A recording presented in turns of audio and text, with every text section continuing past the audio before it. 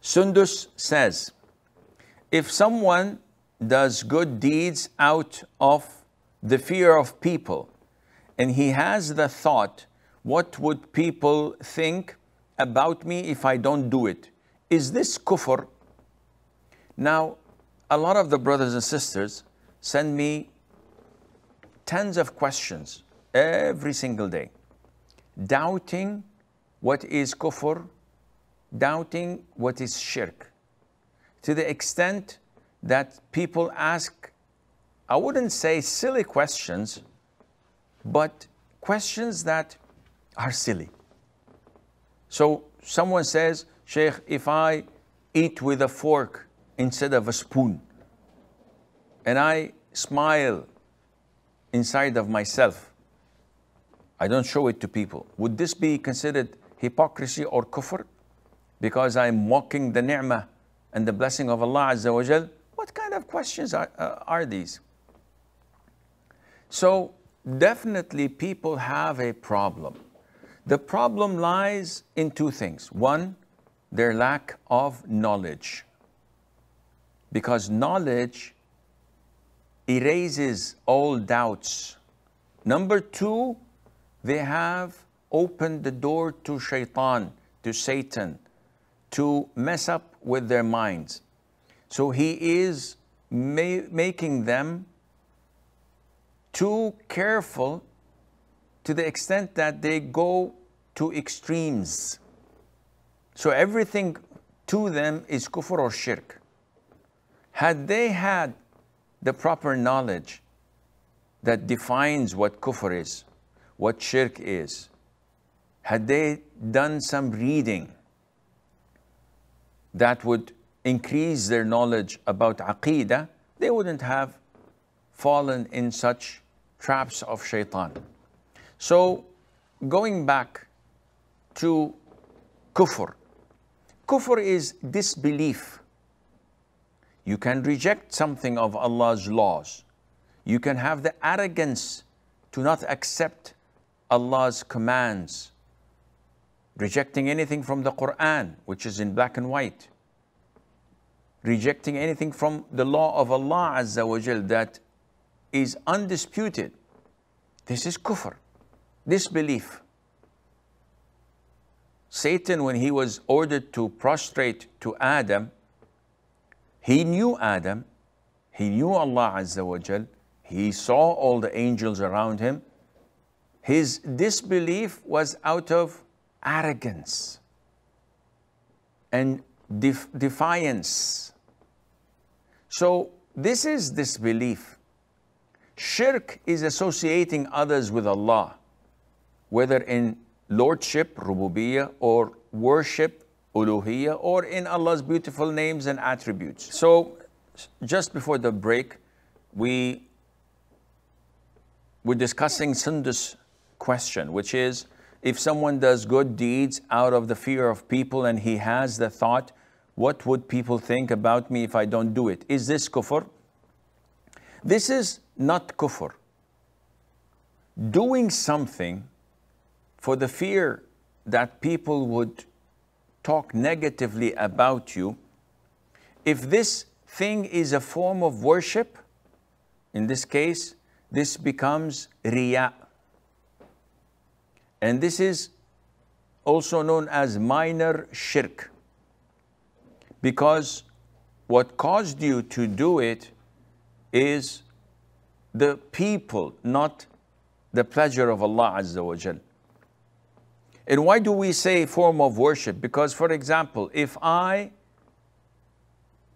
solve my homework and I do it on time, so that the teacher would not reprimand me, is this kufr or shirk? No. These are things that are normal in life.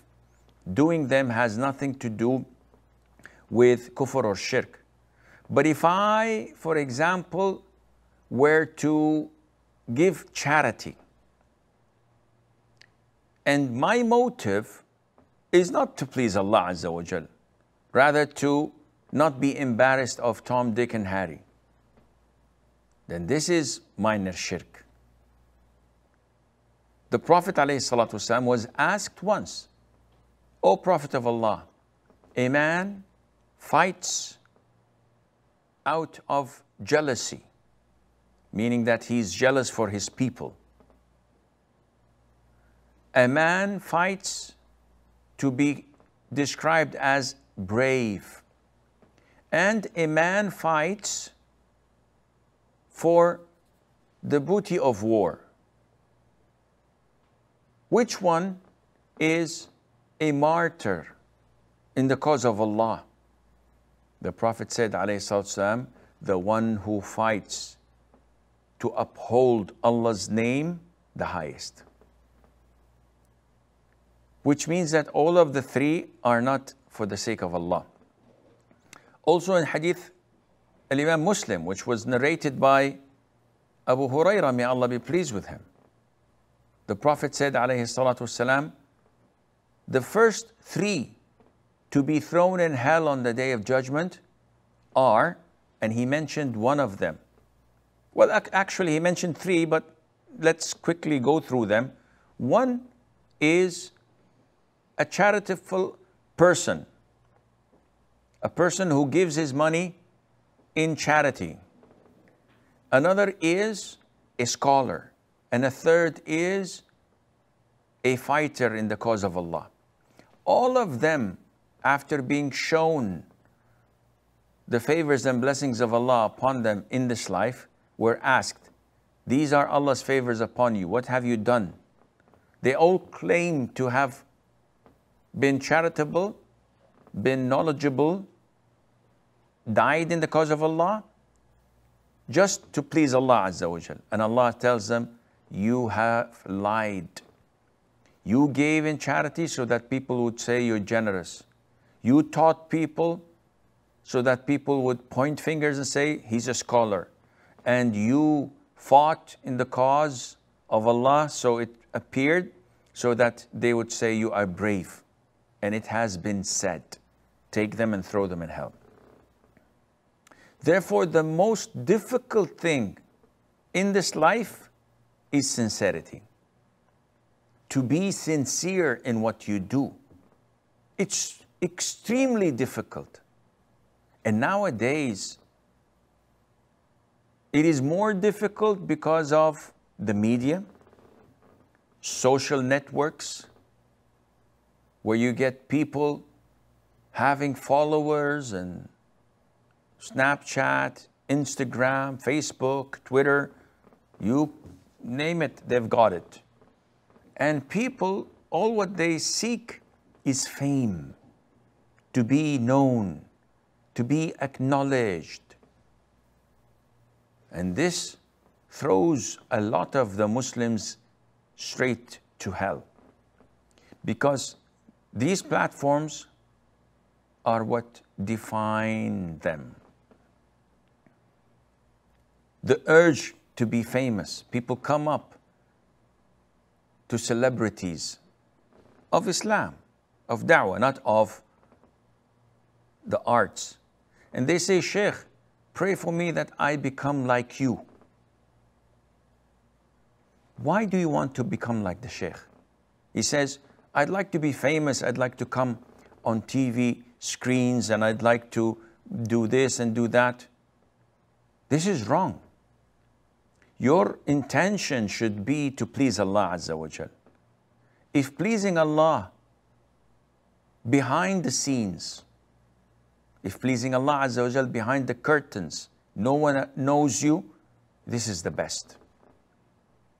But if you must be exposed due to the nature of your work, such as an imam or a scholar, in this case, we have no control on this, and we pray to Allah that He make our hearts steadfast on Islam. Imam al-Shafi'i, may Allah have mercy on his soul, said, I wished that the whole of this population, every single person, I wish they would benefit from my books without attributing any of it to me. Subhanallah.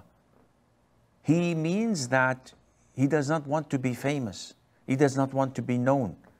But he wishes that people would benefit from his books and from the knowledge he gave to the people. We are quite the opposite. We would like to be known.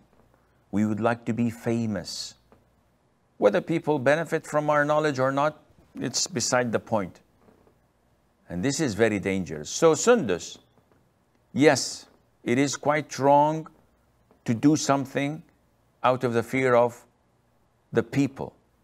However, this may open the Pandora box. If you listen to these whispers and doubts, this is where shaitan utilizes these things to his advantage.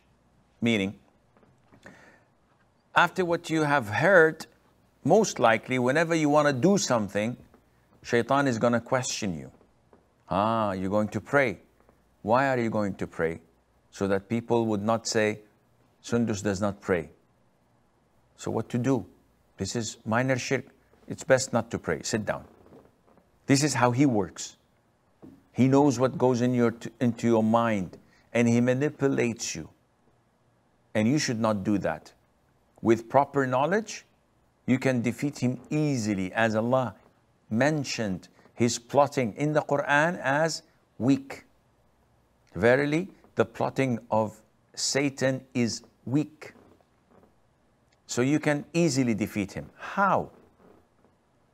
The Salaf used to always refresh their intention.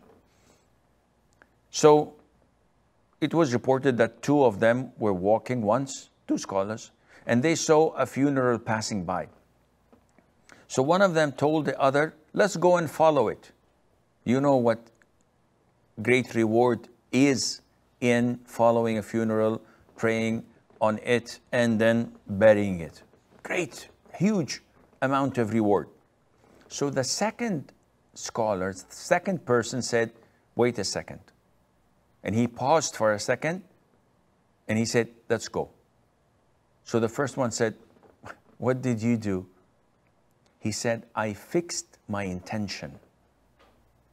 Subhanallah. What does that mean? It means that when he told him, Let's go and follow the funeral, his intention was, Okay, let's go. Because his friend told him to do so. But when he wanted the true reward from Allah, he needed sincerity. So he said to his friend, Wait for a second so that I can change my intention instead of following you, rather to follow the funeral and seek the reward from Allah. And this was done in a second. So whenever shaitan comes to you and says to you, Oh, there's a person who needs money and he's begging or he's asking or he's sitting and we know that he needs money and people say let's give our friend some money so that he could buy food for his family tonight. And they give him money. I'd like to get some money from my pocket and then shaitan comes to me you're showing off. You're doing this so that they would not point fingers at you and say that you didn't pay. True, this is a possibility. But my course of action would define my future and how shaitan would be able to utilize this or not. So I would ask myself, is there a, is there a possibility that I'm doing this because of the fear of the people? The answer is yes, there is. So what to do? I could care less about the people. I'm going to give it, whether they are looking or without them knowing, I'm going to give the money for the sake of Allah Azza wa So I force myself to fix my intention. And by doing this, shaitan is in trouble. And this is why scholars say when you start to pray, shaitan comes to you and says, Ah, you're prolonging, prolonging your prayer, so people would comment and say, Oh, mashallah, he is a, a good worshipper. what to do, make it quick. Scholars say whenever shaitan comes to you with such a thought, make him depressed and angry by saying, No, I'm going to prolong it longer than what I was intending in the beginning, just to make you eat your heart out. If you do this once or twice, shaitan will take his distance. He will keep his distance for a couple of weeks, maybe a couple of months, maybe a couple of years, until you put your guard down, and then he will attack again. This is how it, it, it, it goes, and it will continue until the day we die. We are in continuous struggle with our enemy. And this is ongoing until our souls depart our bodies. So, inshallah, this answers your questions, uh, Sundus.